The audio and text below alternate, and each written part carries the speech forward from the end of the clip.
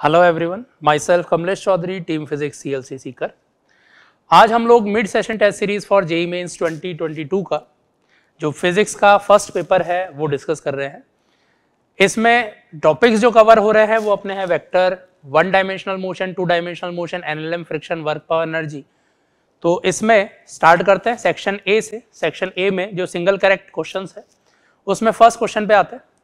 First question में हमें एक फोर्स दे रखा है F denoted a force and T time तो डायमेंशन ए और बी की बताना है, कितना है। तो जो फोर्स है, वो कुछ इस तरह से गिवन है A by T plus B T square तो यहाँ पर क्या होगा कि सेम डायमेंशन वाली क्वांटिटीज को ही हम ऐड करते हैं।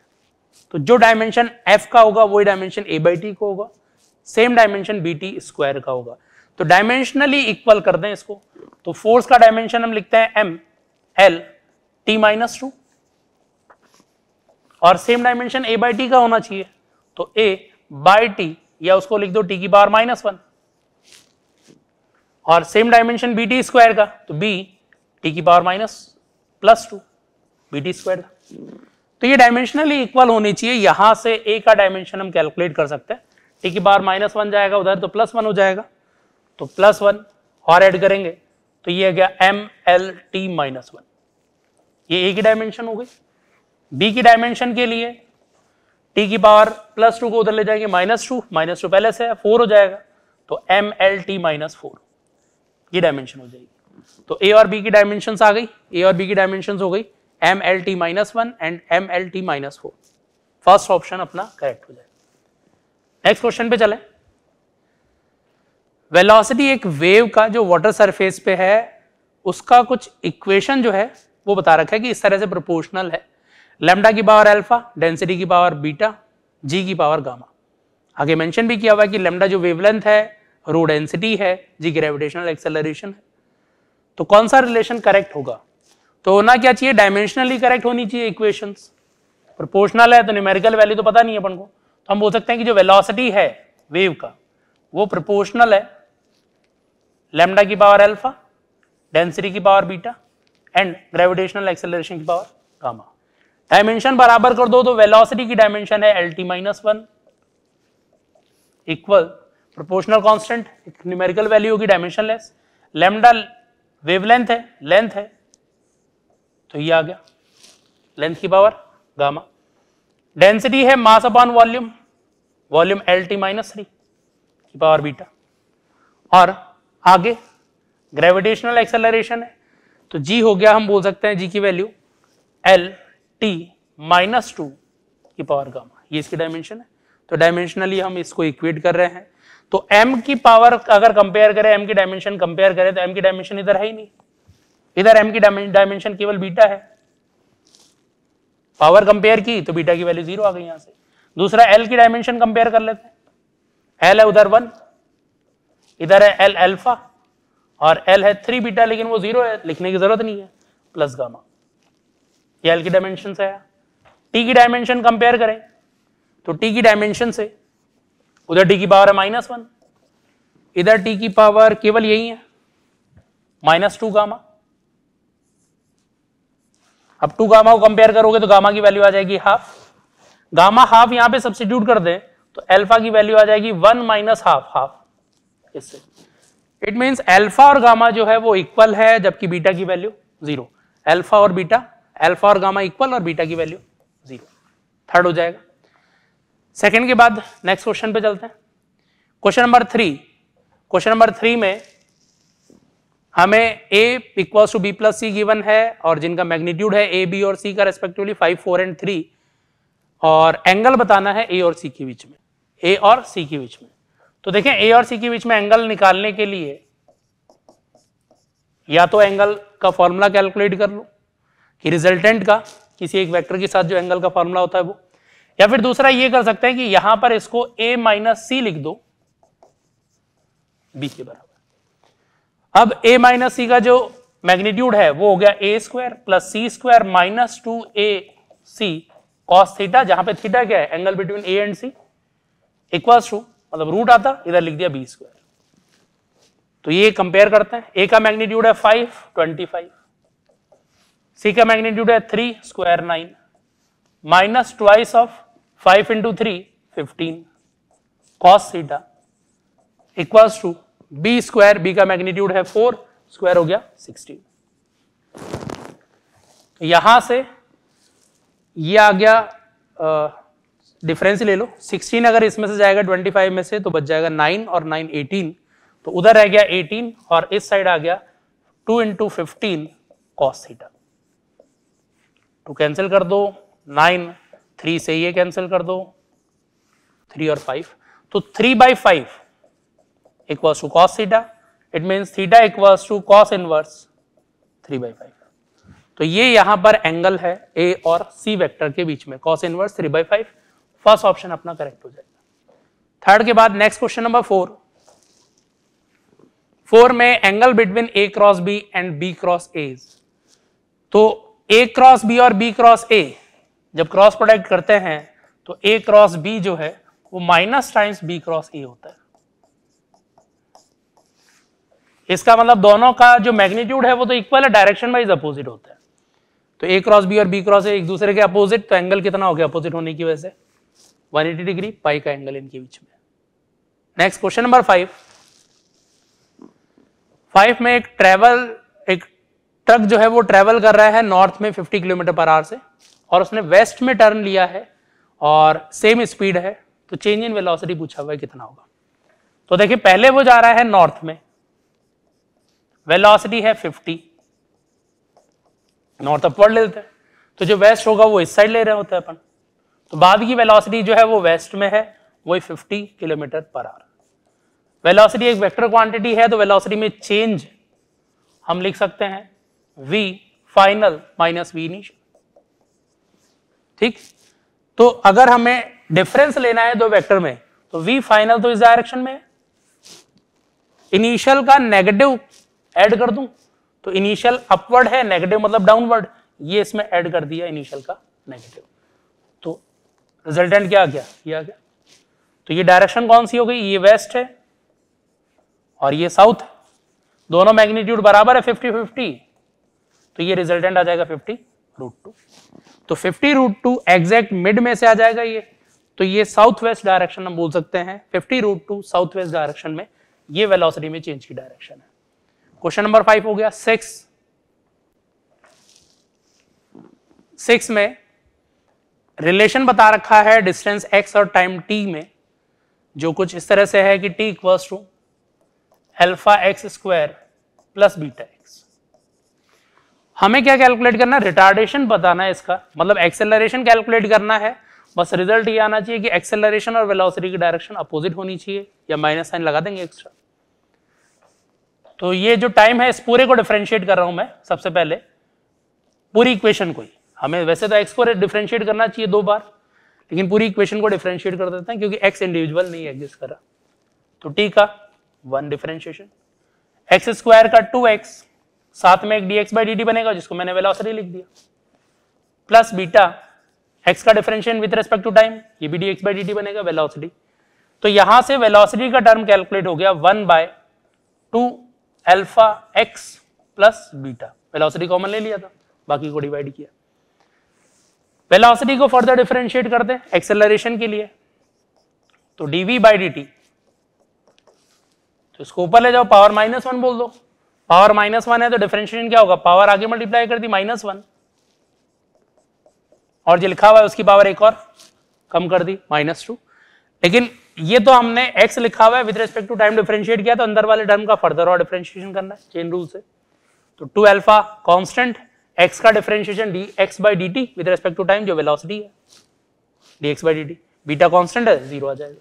तो ये इसका डिफरेंशिएशन आया मतलब एक्सेलरेशन की वैल्यू आ गई. अब इस वाले टर्म को देखोगे तो ये माइनस वन लिखा हुआ है वेलोसिटी इसकी पावर माइनस वन मतलब वेलोसिटी और इसकी पावर माइनस टू मतलब वेलोसिटी का स्क्वायर है। तो ये माइनस वेलोसिटी का स्क्वायर एक और वेलोसिटी वेलोसिटी का क्यूब साथ में एक है ट्वेल्व ठीक? अब एक्सेलरेशन नेगेटिव ऑफ़ ये वैल्यू है। अब वेलोसिटी का क्यूब है, इसका मतलब जो वेलोसिटी का अगर साइन नेगेटिव है तो ये ओवरऑल टर्म नेगेटिव आएगा, इतना टर्म या फिर वेलोसिटी का साइन अगर पॉजिटिव है तो ये टर्म पॉजिटिव आ जाएगा।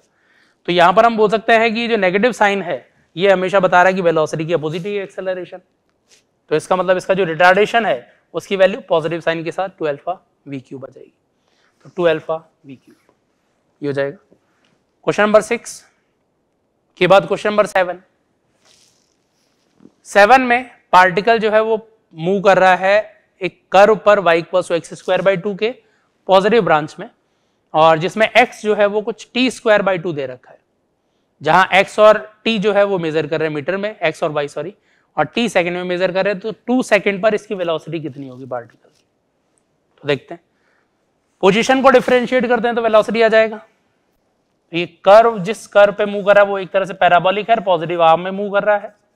एक्स और वाई पॉजिटिव ब्रांच तो एक्स वाले टर्म को डिफरेंशिएट किया एक्स ही रहा। तो डिफरेंशिएट किया वेलोसिटी इन एक्स आ जाएगा। टी स्क्वायर का differentiation two T divide by two है टू कैंसिल हो गया टी की वैल्यू टू रखी तो ये टू मीटर पर सेकेंड तो एक्स में वेलोसिटी तो टू है।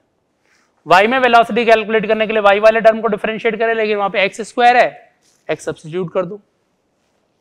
तो वाई इक्वल्स टू है एक्स स्क्वायर तो एक्स स्क्वायर हो गया टी की power four by two four T की power four by four X square by two आ रहा है। ठीक? इस टर्म को डिफरेंशिएट किया तो वेलोसिटी इन वाई आ जाएगा। टी की बार फोर का डिफरेंशिएशन फोर आगे। T cube divide by four into two cancel हो गया। टी की वैल्यू टू सेकंड पे पूछा है तो टू रखोगे। टू की power three divide by two तो एक टू कैंसिल कर दो टू की power two four metre per second X में वाई में वेलोसिटी आ गई तो एक्स में velocity I cap Y velocity J cap ये और ऑल इसकी वेलोसिटी गई। ठीक है? तो वेलोसिटी हो गया two I plus four J fourth option हो जाएगा। सेवन के बाद next question number eight question number eight में ये बोल रखा है कि एक ऑब्जेक्ट जो है उसको प्रोजेक्ट किया है अपवर्ड किसी वेलोसिटी 4.9 मीटर पर सेकंड से। ग्राउंड पर कितने टाइम के बाद अप्रोक्सीमेटली कोलाइड हो जाएगा? तो देखें। अपवर्ड थ्रो किया ग्राउंड पर अगर वापस आना है इसका मतलब इसका डिस्प्लेसमेंट ओवरऑल कितना हो गया? ज़ीरो डिस्प्लेसमेंट की वैल्यू ज़ीरो तो हम डिस्प्लेसमेंट के लिए इक्वेशन लिख सकते हैं S equal to U T plus half A T square displacement zero करना है। इनिशियल वेलोसिटी 4.9 है अपवर्ड पॉजिटिव ले लेते हैं। अपवर्ड डायरेक्शन पॉजिटिव ले ली downward negative gravitational acceleration downward है। जी की वैल्यू 9.8 और डाउनवर्ड है, इसलिए एक्सेलरेशन हो गया minus nine point eight T square अब यहाँ पर 4.9 टी कॉमन ले लो, क्योंकि ये भी 4.9 है, ये भी डिवाइड होने के बाद 4.9 आएगा। बाकी रह गया one minus T equals zero यहाँ पर टी के दो सॉल्यूशन आ गए टी इक्वस ज़ीरो वो बता रहा है इनिशियल पोजीशन तब भी डिस्प्लेसमेंट ज़ीरो था। दूसरा बता रहा है टी इक्वस वन सेकेंड तो टी इक्वस वन सेकेंड पे ये दोबारा ग्राउंड पे आ रहा होगा। तो दोबारा ग्राउंड पे आने का टाइम हो गया one second question number eight के बाद नेक्स्ट क्वेश्चन नंबर नाइन एक बॉडी को प्रोजेक्ट किया है वर्टिकली अपवर्ड ग्राउंड से और एयर रेजिस्टेंस जो है उसको कंसिडर करना है। अगर ये बोल रखा है कि T1 टाइम लग रहा है उसको अपवर्ड जाने में और जबकि T2 टाइम लग रहा है वापस ग्राउंड पे आने में। तो जब ये अपवर्ड जा रहा होगा तो ग्रेविटी डाउनवर्ड ग्रेविटेशनल फोर्स बोल दो। एयर रेजिस्टेंस भी डाउनवर्ड तो नेट फोर्स डाउनवर्ड एम से ज़्यादा है तो ओवरऑल एक्सेलरेशन जो डाउनवर्ड होगा, वो ग्रेटर देन जी होगा। समझ में जब ये डाउनवर्ड मोशन में होगा, ये अपवर्ड मोशन में है डाउनवर्ड मोशन में होगा तो डाउनवर्ड तो एम लगेगा एयर रेजिस्टेंस अपवर्ड लगना है तो इस वाली कंडीशन में downward M upward air resistance तो अब जो नेट फोर्स है वो एम से कम हो गया, क्योंकि एम जी माइनस है। फोर्स अगर कम हो गया तो हम बोल सकते हैं कि नेट फोर्स एम जी से कम एक्सेलरेशन जी से कम। ये हो जाएगा। इसको सिचुएशन को वन बोल देते हैं ये टू तो इसका मतलब जाते टाइम पर एक्सेलरेशन ज़्यादा है, आते टाइम पर एक्सेलरेशन कम है। जाना तो सेम हाइट जितना हाइट पे जाएगा, उतना ही हाइट से वापस भी आएगा। तो डिस्प्लेसमेंट सेम है दोनों ही कंडीशन में। अब डिस्प्लेसमेंट को यूज़ करते हुए लिख दो। इसमें फाइनल वेलोसिटी ज़ीरो है। इसलिए मैं इक्वेशन यूज़ कर रहा हूँ S equals to V T minus half A T square ये भी यूज़ कर सकते हैं अपन। ये न्यूटन सेकेंड इक्वेशन को ही सेकेंड और फ़र्स्ट को मिक्स करके हम बोल सकते हैं S equal to V T minus half A T square final velocity zero है तो इसलिए जो डिस्प्लेसमेंट है वो सेम है। हाफ़ एक्सेलरेशन जो आ गया वो ए वन टी स्क्वायर तो जो टी वन की वैल्यू है, वो आ गई two S by A one का रूट इतना टाइम इसको लगना है यहाँ पे। अब ए वन की वैल्यू से कंपेयर करेंगे, जो जी से ज़्यादा है। अब यहाँ पे भी ऐसे लिख दो ऊपर से आ रहा है, नीचे तक इनिशियल वेलोसिटी ज़ीरो है, यहाँ पे इस मोशन के अकॉर्डिंग तो S equals to U T plus half A T square sorry A T square U zero यहाँ पे वी ज़ीरो था. नेगेटिव साइन वो डायरेक्शन के अकॉर्डिंग अपने आप एडजस्ट हो जाएगा तो S two S divide by acceleration ये ए टू का रूट ये टाइम लगा टी टू अब देखें एक्सेलरेशन ए टू कम है। जी से कम तो उससे तो कम हो ही गया। तो अगर एक्सेलरेशन कम है तो जो टाइम है वो ज़्यादा लगना है। तो टी टू टाइम जो है वो ग्रेटर लगेगा with respect to T one या दूसरा ये भी बोल सकते हो कि जाते टाइम पर एक्सेलरेशन ज़्यादा है, बहुत जल्दी वेलोसिटी में चेंज होगा एक्सेलरेशन ज़्यादा तो जल्दी मैक्सिमम हाइट अटेन करेगा। वापस जब आ रहा होगा तो एक्सेलरेशन कम है तो थोड़ा स्लोली आएगा। स्लोली आएगा तो हम बोल सकते हैं आते टाइम पर टाइम थोड़ा ज़्यादा लग रहा होगा। तो इसके बेसिस पे ये हो गया कि T1 जो है, जाते टाइम पर टाइम कम लगना, आते टाइम पर ज़्यादा होगा। थर्ड ऑप्शन सही हो जाएगा। नेक्स्ट क्वेश्चन नंबर टेन पे आते हैं। टेन में Vx ग्राफ जो है, वो गिवन है। Ax ग्राफ उससे हमें ड्रॉ करना है। तो देखिए Vx ग्राफ से Ax ग्राफ कोई स्लोप जो है, वो तो dv बाई डी होता है। स्लोप से हम एक्सेलरेशन को रिलेट नहीं कर पाएँगे। वो dv बाई डी होता तो कर रिलेट कर देते। हाँ V D by D X होता है, अगर उससे सोच सकते हो तो उसे ट्राई कर सकते हैं। दूसरा, यहाँ पर एरिया अगर निकालेंगे तो एरिया बताएगा वी डी एक्स वो भी कुछ नहीं रिप्रेजेंट कर रहा होता है यहाँ पे। तो हम क्या करें, एक बार इक्वेशन से ही देखते हैं कि इक्वेशन के अकॉर्डिंग किस तरह का रिलेशन दिखेगा। तो देखें, यहाँ पर लीनियर रिलेशन है तो v इक्वल्स टू नेक्स्ट पे चलते हैं। V equals to linear relation था तो v equals to M X plus C हो गया। कुछ इस तरह से रिलेशन है वी और एक्स के बीच में। जहाँ पे स्लोप जो है वो नेगेटिव है और जो वाई एक्सिस पे इंटरसेक्शन है वो पॉजिटिव है। तो स्लोप जो है, इस टर्म को हम नेगेटिव लेंगे कंसिडर करेंगे और ये टर्म पॉजिटिव कंसिडर करेंगे। फाइनल जो भी रिज़ल्ट आएगा, इससे कंपेयर करेंगे। डिफ्रेंशिएट कर देते हैं। विद रिस्पेक्ट टू या V D by D X लिख दो। एक्सेलरेशन के लिए। तो v ये टर्म आ गया M X plus C D V by D X with respect to X differentiate करेंगे, केवल एम का टर्म बचेगा। एम तो इसका मतलब एक्सेलरेशन जो आ गया, वो आ गया M square X plus C into M ठीक है? अब इससे कंपेयर करें तो एम चाहे नेगेटिव रहा हो, लेकिन स्क्वायर का टर्म तो पॉजिटिव हो गया। मतलब एक्सेलरेशन और एक्स के बीच में लीनियर रिलेशन है। इसका स्लोप जो है वो पॉजिटिव है। और जो सी है वो पॉजिटिव था, लेकिन ये एम की वैल्यू नेगेटिव होने की वजह से ओवरऑल क्या हो गया? नेगेटिव वाई इंटरसेक्शन नेगेटिव होना चाहिए स्लोप पॉजिटिव होना चाहिए। इस तरह का रिलेशन हो। तो वाई इंटरसेक्शन नेगेटिव हो और स्लोप पॉजिटिव हो। तो ऐसा कुछ ग्राफ दिख रहा है? तो एक्सेलरेशन और एक्स के बीच में ये ग्राफ होना चाहिए। तो देखते हैं। तो ये ग्राफ हमें मिल रहा है फ़र्स्ट के अकॉर्डिंग केवल फ़र्स्ट है तो फ़र्स्ट अपना करेक्ट हो जाएगा इसमें। टेन के बाद next question number eleven eleven में एक बॉडी जिसका मास 40 केजी है और ये वर्टिकली लटकाया हुआ है सॉरी ब्रांच ऑफ़ ट्री से। बॉय है सॉरी एक बॉय जो है, जिसका मास 40 केजी है, उसको वो जो है, वो लटका, लटक रहा है किसी ट्री की हॉरिजॉन्टल ब्रांच से। Tension in his arm minimum when the angle between the arms tension minimum कब होगा? तो जैसे वो लटक रहा है तो सिचुएशन कुछ इस तरह से बोल सकते हैं।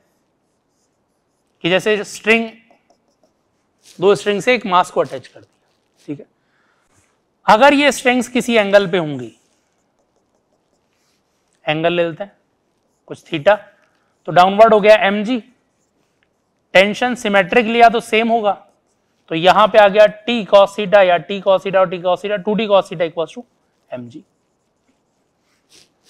इसका मतलब जो टी है, वो कितना हो गया? M G by two cos theta अब ये जो टी की वैल्यू है, ये मिनिमम चाहिए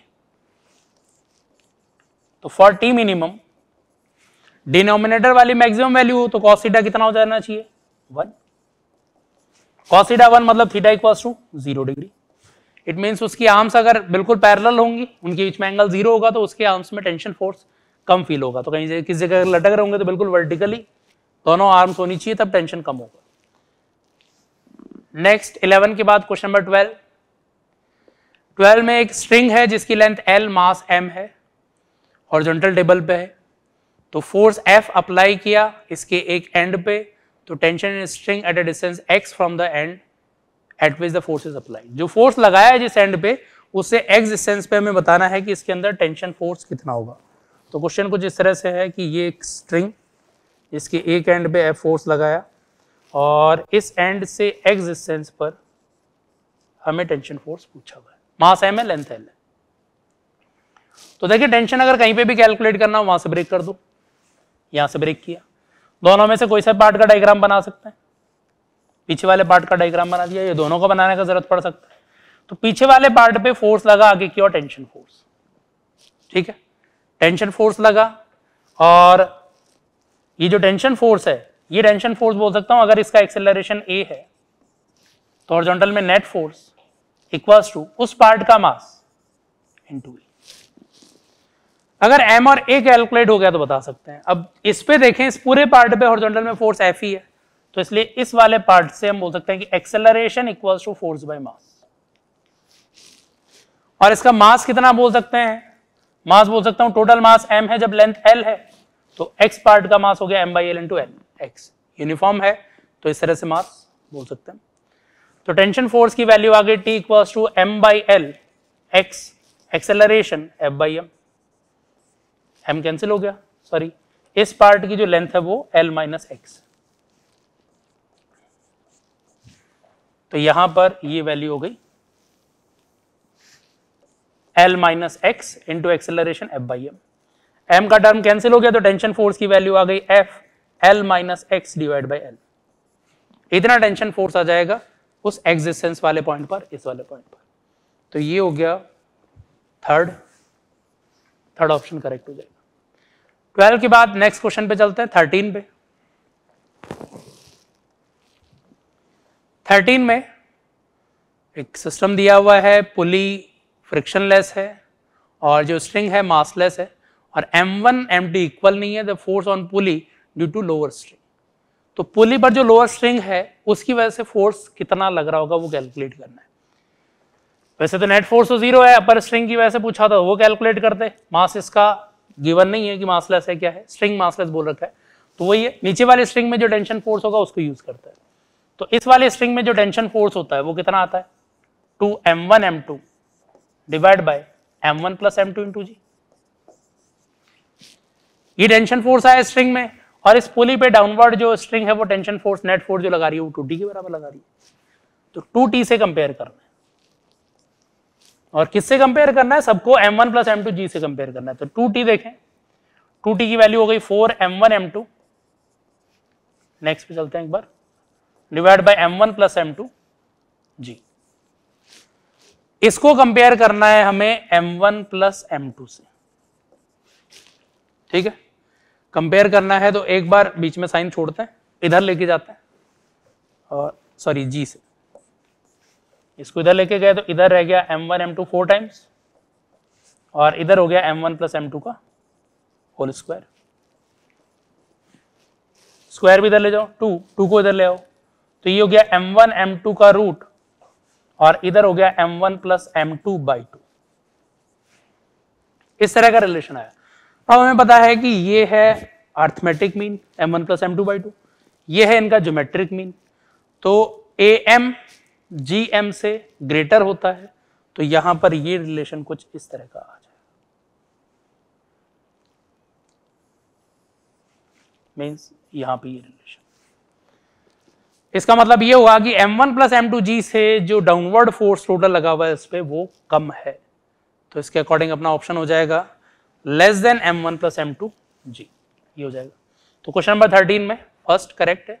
नेक्स्ट क्वेश्चन पे चलते हैं। क्वेश्चन नंबर फोर्टीन फोर्टीन में फोर्टीन में एक यूनिफॉर्म रोप है और इसकी लेंथ एल एक टेबल पे है कोफिशिएंट ऑफ़ फ्रिक्शन म्यू है। तो मैक्सिमम लेंथ एल वन जो उसके ऊपर से रख सकते हैं एज पे, ताकि ये स्लाइड ना हो। स्लाइड ना होने के लिए मैक्सिमम लेंथ कितनी रख सकते हैं? तो टेबल के ऊपर रखा हुआ है। ये कुछ रोप या चेन बोल दो। एक टेबल पर। अब ये कितना पार्ट इसका इधर लटका सकते हैं ताकि ये बैलेंस रहे? तो उसके हम बोल सकते हैं कि यहाँ पे जो फ्रिक्शन फोर्स है, वो जो भी डाउनवर्ड फोर्स लग रहा है, उसको बैलेंस कर रहा होगा। और फ्रिक्शन फोर्स मैक्सिमम कितना लग सकता है? म्यू एम जी तो जस्ट लिमिटिंग कंडीशन में ये आ रहा होगा। जस्ट लिमिटिंग कंडीशन तो मैक्सिमम कितना वेट बैलेंस कर सकता है? जब तक ये मैक्सिमम नहीं लग जाए, तब तक बैलेंस करेगा। इससे ज़्यादा लग नहीं सकता स्लिप हो जाएगा। तो ये सिचुएशन हो गई म्यू वन या mu M one g equals to M two g कौन से पार्ट की लेंथ पूछी हुई है? एल वन लेंथ जो इससे लटकाया हुआ है वो। एल वन लेंथ उसको बोला हुआ है। तो इस पार्ट की लेंथ एल वन बोली हुई है तो इसको एक बार एम टू ले लेते हैं, इसको एम वन ले लेते हैं। ये एम वन है और ये एम टू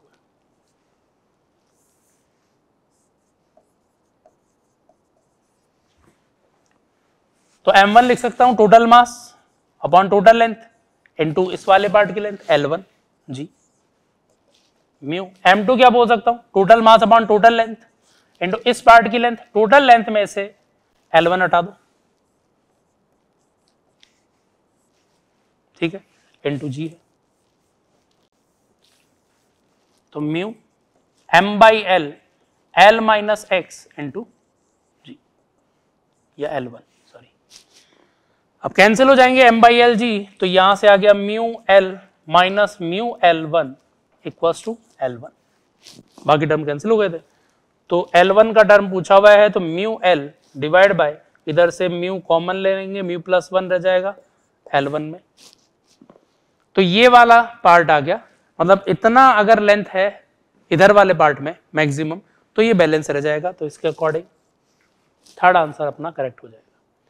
फोर्टीन के बाद नेक्स्ट क्वेश्चन पे चलें। फिफ्टीन पे। फिफ्टीन में अपर हाफ़ एक इंक्लाइन प्लेन का जो है, वो परफेक्टली स्मूथ है फाइव एंगल का इंक्लिनेशन था, और जो लोअर हाफ़ है, वो रफ है इसका। तो बॉडी स्टार्ट कर रही है रेस्ट से टॉप से, और रेस्ट में आ गया नीचे बॉटम पे आते आते तो coefficient of friction lower half का कितना होगा? तो देखें अपर हाफ़ वाले पार्ट में फ्रिक्शन है नहीं लोअर हाफ़ में पार्ट में फ्रिक्शन है, और नीचे आते आते अगर रेस्ट में आ रहा है तो मैं वर्क एनर्जी थ्योरम यूज़ कर ले फिर यहाँ पे। तो ये डिस्टेंस एस इस वाले डिस्टेंस एस में आएगा हाफ़ हाफ़ है। तो इस वाले डिस्टेंस पे जब ब्लॉक मूव करेगा तो पीछे की ओर फ्रिक्शन फोर्स लगेगा। म्यू एन ये एम जी एक बार इधर बना लेते डाउनवर्ड एम जी इधर नॉर्मल एम जी का इधर कॉम्पोनेंट आ गया एम जी कॉस थीटा इधर कॉम्पोनेंट आ जाएगा एम जी साइन थीटा पीछे फ्रिक्शन फोर्स आ जाएगा स्टैटिक सॉरी काइनेटिक मूव कर रहा है तो। और काइनेटिक फ्रिक्शन की वैल्यू जो आ जाएगी, वो आ जाएगी म्यू एन के बराबर।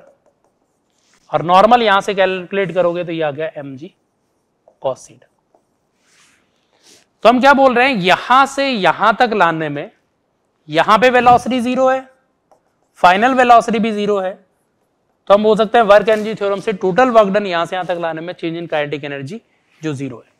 तो टोटल वर्क डन में work done by normal work done by gravity work done by friction equals to change in kinetic energy work done by normal पूरे मोशन के टाइम पर नॉर्मल परपेंडिकुलर है, उसका work done आ गया zero work done by gravity या तो MGH बोल दो सीधा, या बोल दो कि इंक्लाइंड के अलोंग फोर्स का जो कंपोनेंट आ रहा है परपेंडिकुलर वाला तो वर्क ज़ीरो करेगा, ये वाला आ जाएगा M g sine theta into displacement two S तो M g sine theta force into displacement two S work done by gravity work done by friction यहाँ से आ रहा है हाफ़ पार्ट में एस डिस्टेंस कवर कर रहा है।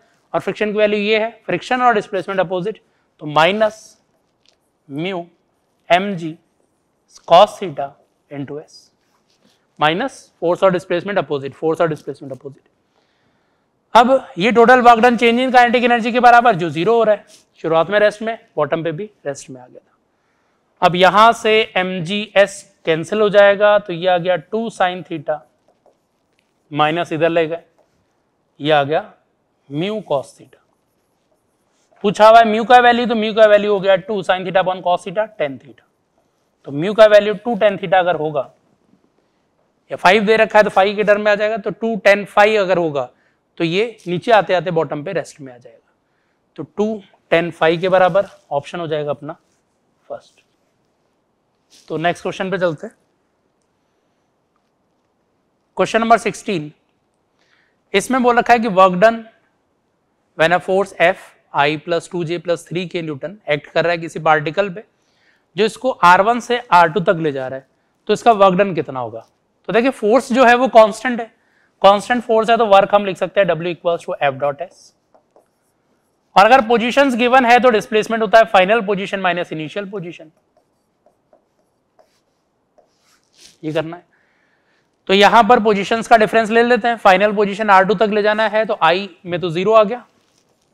फोर्स लिख देते पहले i plus two j plus three k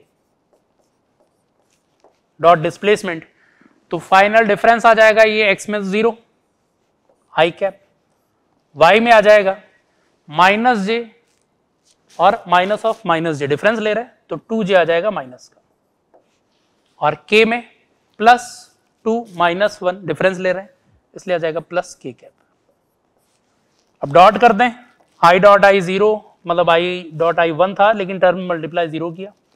और जे वाला टर्म आ गया माइनस फोर और के वाला टर्म आ गया प्लस थ्री इट मीन जो वर्क आ गया, वो आ गया माइनस वन जूल के बराबर। तो माइनस वन जूल इसमें वर्क आ जाएगा। सेकेंड सिक्सटीन में। सिक्सटीन के बाद next question number seventeen seventeen में एक स्प्रिंग फोर्स है, और उसका वैल्यू है ten newton per meter initially stretch किया हुआ है पॉइंट टू मीटर और change in stretch to 0.25 meter then increase in potential energy stretch में चेंज कर दिया 0.25 मीटर।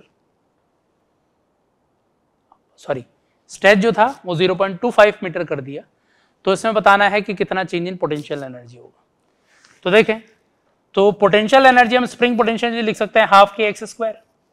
और चेंज इन पोटेंशियल एनर्जी होगा, वो लिख रहे हैं तो final position minus half k x initial square. तो हाफ़ तो कॉमन लिया, के कॉमन ले लिया टेन, एक्स मीटर में ही है। तो पॉइंट हटा के पहले स्क्वायर कर लेते हैं। टू का square four, final twenty five का square. Six twenty five. Ten S bar minus four. और इनिशियल है two, square four. Into ten S bar point one था, स्क्वायर किया माइनस टू। या फोर में कन्वर्ट करो तो फोर हंड्रेड कर दो। तो 400 hundred into ten is power minus four. तो ये आ गया 10 बाय टू और ये डिफरेंस आ गया 225 तो ये ratio into ten is power minus four तो माइनस थ्री रह जाएगा तो ये आ गया one one two point five और माइनस थ्री तो one two three zero point ये वैल्यू इतना जो। तो चेंज इन पोटेंशियल एनर्जी कितना आ गया? Zero point approximate zero point one के अराउंड ये इसमें चेंज इन आ गया। पोटेंशियल ज़ीरो पॉइंट वन के अराउंड सेवनटीन का first next eighteen question number eighteen में बोल रखा है कि एक सिंपल पेंडुलम की लेंथ एल है मैक्सिमम एंगुलर डिस्प्लेसमेंट थीटा तो मैक्सिमम काइनेटिक एनर्जी कितनी होगी? इसका मतलब ये है कि यहाँ से कुछ रिलीज़ किया मैक्सिमम एंगल से सिंपल पेंडुलम को। यहाँ से रिलीज़ किया तो मैक्सिमम काइनेटिक एनर्जी कब होगी? जब पोटेंशियल एनर्जी सबसे कम होगी। एनर्जी कंजर्वेशन से बोल सकते हैं। तो सबसे नीचे वाले पॉइंट पर आएगा तो पोटेंशियल एनर्जी कम होगी ग्रेविटेशनल तो काइनेटिक एनर्जी मैक्सिमम तो मैक्सिमम कितनी हो गई? जितनी पहले पोटेंशियल एनर्जी थी, ये लिख सकते हैं। ये लेंथ एल है तो ये एल कॉस ये टोटल एल था टोटल एल था। तो ये डिफरेंस बोल सकते हैं। तो वहाँ से वहाँ तक आने पर या तो वर्क एनर्जी थ्योरम लगा दो, या पोटेंशियल एनर्जी में चेंज लिख दो। वर्क डन बाई ग्रेविटी लिख दे अगर एम जी एच एच तो ये आ जाएगा एल माइनस एल कॉसिड वर्क डन बाई ग्रेविटी हो गया टेंशन का वर्क है नहीं इसमें। Total work done equal to change in kinetic energy finally kinetic energy के ई माइनस इनिशियल ज़ीरो तो पूछा है कि मैक्सिमम काइनेटिक एनर्जी कितनी है? तो ये मैक्सिमम काइनेटिक एनर्जी का टर्म है। जो जाएगा थर्ड इसके बाद क्वेश्चन नंबर 19 19 में एक ब्लॉक को पुल कर रहे हैं कांस्टेंट फोर्स से कांस्टेंट हॉरिजॉन्टल फोर्स से।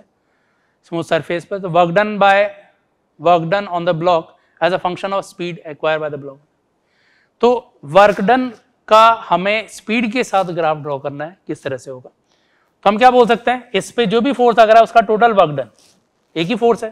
नॉर्मल का कोई वर्क नहीं होगा ग्रेविटी का नहीं होगा फ्रिक्शन है नहीं. Total work done equals to change in kinetic energy तो काइनेटिक एनर्जी हो गई half M V square final minus initial zero it means जो वर्क है, वो अगर वाई एक्सिस पे ले लूँ वेलोसिटी एक्स एक्सिस पे ले लूँ तो Y equals to constant times X square ऐसा दिख रहा है। पैराबोलिक रिलेशन होगा तो ये सेकेंड ऑप्शन करेक्ट हो जाएगा। 19 के बाद नेक्स्ट क्वेश्चन नंबर 20 में एक कार 800 हंड्रेड का जो है, वो कांस्टेंट एक्सेलरेशन से मूव कर रहा है 1.5 metre per second square straight road है। कांस्टेंट रेजिस्टिव फोर्स जो है, वो भी लग रहा है 72 न्यूटन का। और इसकी स्पीड जो है वो 72 किलोमीटर पर आर है। तो किस रेट से इंजन वर्क कर रहा है वो कैलकुलेट करना है। तो देखें, यहाँ पर जितने भी फोर्सेस है, सबका work done change in kinetic energy के बराबर। तो सबका वर्क डन कैलकुलेट करें, उसमें कौन कौन से फोर्सेज होंगे? कुछ इंजन जो है वो इंटरनल वो कुछ एनर्जी दे रहा होगा। जिसकी वजह से काइनेटिक एनर्जी बढ़ रही है। एयर रेजिस्टेंस जो कर रहा होगा, वो एनर्जी कम कर रहा होगा तो एयर रेजिस्टेंस का कुछ वर्क है। एयर रेजिस्टेंस या रेजिस्टेंस नॉर्मल का कोई वर्क नहीं होगा ग्रेविटी का कोई नहीं नहीं वर्क होगा, और कार स्लिप तो नहीं होती है जब मूव कर रही होती है तो जो फ्रिक्शन स्टैटिक है, उसका भी वर्कडन यहाँ पे नहीं होगा। तो टोटल वर्कडन यही है equal to change in kinetic energy अब इस सम को हमें पूछा हुआ है रेट किस रेट से वर्क कर रहा है? तो मैं इसको डिफ्रेंशिएट कर रहा हूँ विद रेस्पेक्ट टू टाइम तो with respect to time differentiate करने पर ये आ गया, किस रेट से वर्क हो रहा है? एयर रेजिस्टेंस जो है, कार आगे की ओर अगर मूव कर रही है तो एयर रेजिस्टेंस या रेजिस्टेंस पीछे की ओर लगेगा। रेजिस्टेंस पीछे की ओर लग रहा है तो डिस्प्लेसमेंट आगे फोर्स पीछे तो नेगेटिव आएगा। और डीवी बाई डी पावर ही बोल सकता हूँ फोर्स की। तो मैं बोल सकता हूँ इसको एफ़ डॉट वी के बराबर। Kinetic energy rate of change of kinetic energy आएगा इधर। तो काइनेटिक एनर्जी आ गया हाफ़ एम वी स्क्वायर उसको डिफ्रेंशिएट कर रहे हैं विथ रेस्पेक्ट टू टाइम तो इससे आ जाएगा, एक तो वो टर्म जिसको पी डैश बोल देता हूँ अभी के लिए पी कैलकुलेट करना है। ये फोर्स और वेलोसिटी अपोजिट है तो इसलिए माइनस लिख दिया। फोर्स है 72 न्यूटन और वेलोसिटी है 72 किलोमीटर पर आर है मीटर पर सेकंड में कन्वर्ट कर दो। तो 72 5 बाई एटीन ये मीटर पर सेकंड में कन्वर्ट हो जाएगा। या thousand by three thirty six hundred लिख दो। तो 18 से ये four times 20 metre per second इसकी वेलोसिटी। वेलोसिटी लिख दिया 20 और इधर वाला टर्म आ गया डिफ्रेंशिएट किया वी स्क्वायर को तो टू कैंसिल हो गया एम वी एक dv by d T M है 800 वी 20 आएगा, एक एम आएगा वी आएगा, एक डीवी बाई डी आएगा मतलब एक्सेलरेशन हो गया डीवी बाई डी जो है 1.5 पावर जो इंजन इसको डिलीवर कर रहा है वो आ गया three twenty four thousand minus का इधर plus four four fourteen hundred forty तो ये आ गया two five sorry two five four four zero watt के बराबर. तो इतनी पावर इंजन डिलीवर कर रहा है इसको. तो ये हो जाएगा फ़र्स्ट पार्ट ठीक है?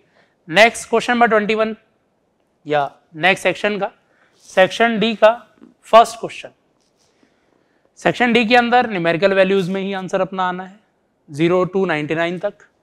तो इसमें क्वेश्चन में बोल रखा है कि एक बोट जो है, उसकी स्पीड है five kilometre per hour still water में और ये क्रॉस कर रहा है एक किलोमीटर विड्थ की एक रिवर को शॉर्टेस्ट पॉसिबल पाथ से और पंद्रह मिनट में इसने क्रॉस कर लिया. तो स्पीड ऑफ़ वाटर बताना है कितना है.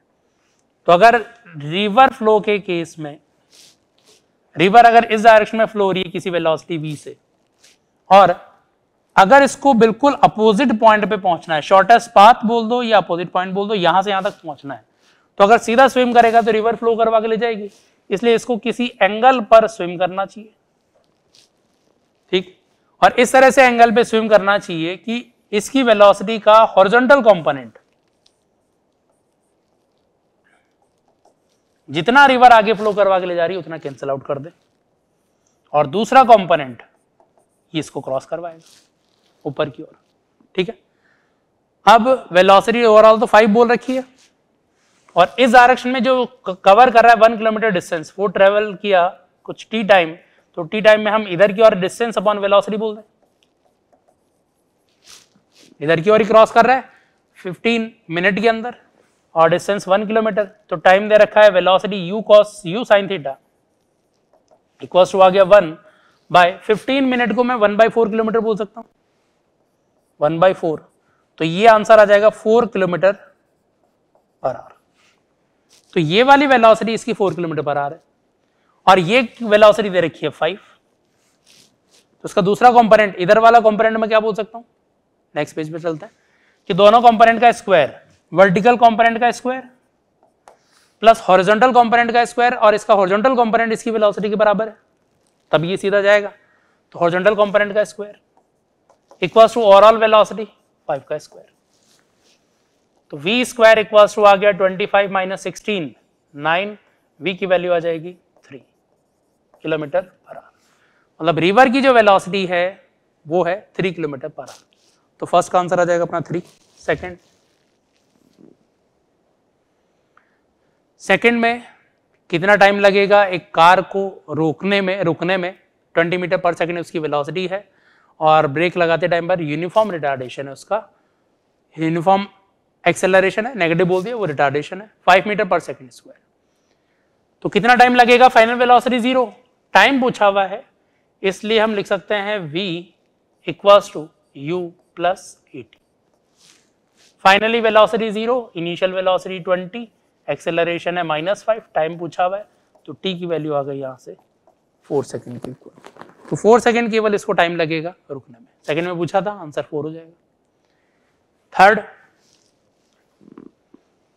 एक मैन ने थ्रो किया, एक स्टोन को 80 मीटर से। सॉरी एक मैन जो है 80 मीटर थ्रो कर सकता है स्टोन को। तो maximum height to which it will rise in metre तो एक मैन जो है 80 मीटर तक थ्रो कर सकता है। इसका मतलब मैक्सिमम जो थ्रो कर सकता है, वो कब थ्रो करेगा? जब ये 45 पे थ्रो कर रहा हूँ। 45 पे थ्रो किया तो ये है 80 मीटर तो ये पूछा हुआ कि इसी टाइम पर ये मैक्सिमम कितनी हाइट तक राइज होगा?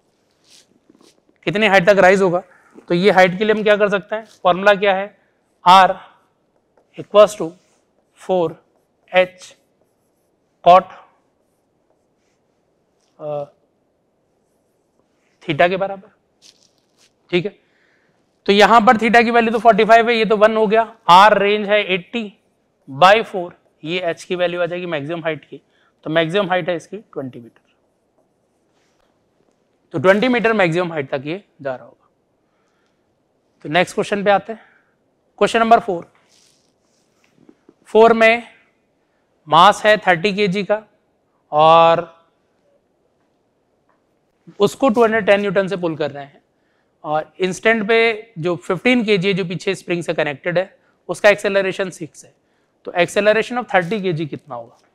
तो देखें, पूरे सिस्टम पे हम एक साथ इस तरह से लिख सकते हैं कि net horizontal force equal mass into acceleration अगर अलग अलग है तो अलग अलग लिख दो। क्योंकि इंडिविजुअल पे भी लिखते हैं हम net force equal to M A net force equal to M A दोनों को ऐड करते हैं। तो इंटरनल फोर्सेस कैंसिल आउट हो जाते ये इक्वेशन बसती तो नेट फोर्स इन पे है 210 मास इंटू एक्सेलरेशन 30 का मास इंटू थर्टी वाले का एक्सेलरेशन 15 वाले का मास और 15 का एक्सेलरेशन ये हो गया।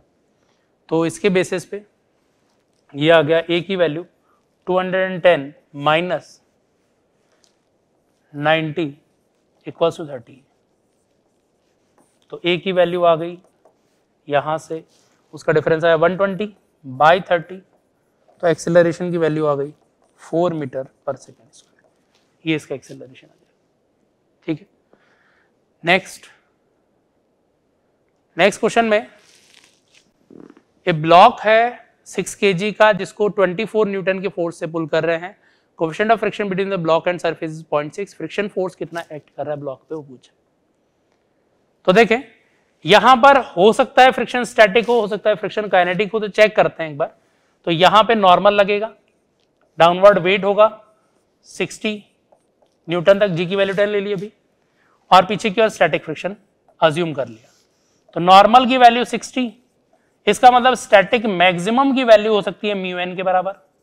म्यू की वैल्यू है 0.6 सिक्स इंटू तो ये आ गया 36 न्यूटन तक। तो स्टैटिक मैक्सिमम 36 न्यूटन तक हो सकता है आगे की ओर फोर्स 24 लगा 24 four minus static equal to zero कहीं नहीं जा रहा है स्टैटिक मानने का मतलब। तो स्टैटिक फ्रिक्शन फोर्स 24 न्यूटन लगेगा अगर ये रेस्ट में है तो। और ये बता रहा है कि रेंज 36 तक 36 तक तो लग सकता है ये। तो ट्वेंटी फोर ही है रेंज के अंदर अंदर है। इसका मतलब फ्रिक्शन फोर्स लग रहा है यहाँ पे 24 न्यूटन। ठीक है? तो इसी के साथ अपना पेपर ये कंप्लीट होता है। तो आगे वाले पेपर्स के लिए best of luck thank you